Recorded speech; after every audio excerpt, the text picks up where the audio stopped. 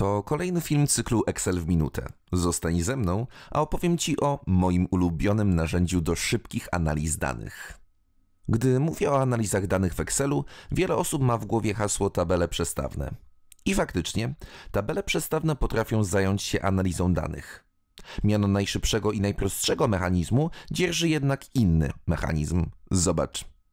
Będąc na danych, tworzysz tabelę. Wstawianie, tabela lub skrót Ctrl-T.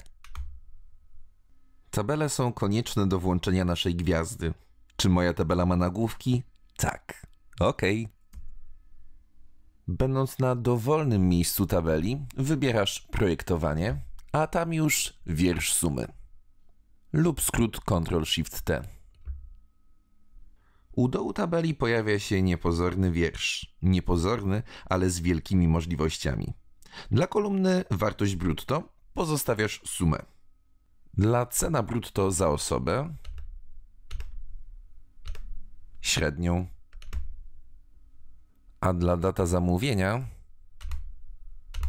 licznik.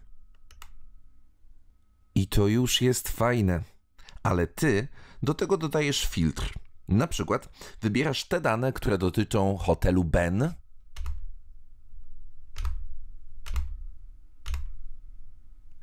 Spoglądasz na wszystkie dane. Sprzedanego przez Agatę Nowak.